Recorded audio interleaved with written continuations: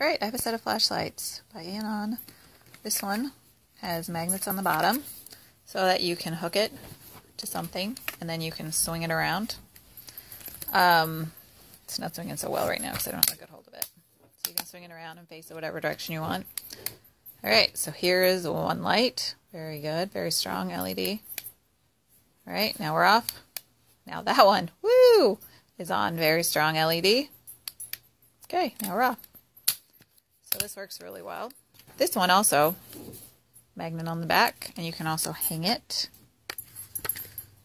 Uh, also has this little hanger that you can flip out and hang it. There you go, hang it from something or just use a magnet. It has this little light on the top. And then this whole light, boom. They're pretty good. We've been hanging them in the basement. Actually, we hooked this one in the basement when we were cleaning out some uh, grain that had gotten down there. That was down there. And it's been down there too long and it got some bugs in it. So it's kind of a mess. But great flashlights. All right, there you go. There's the company. This one also has a hanger.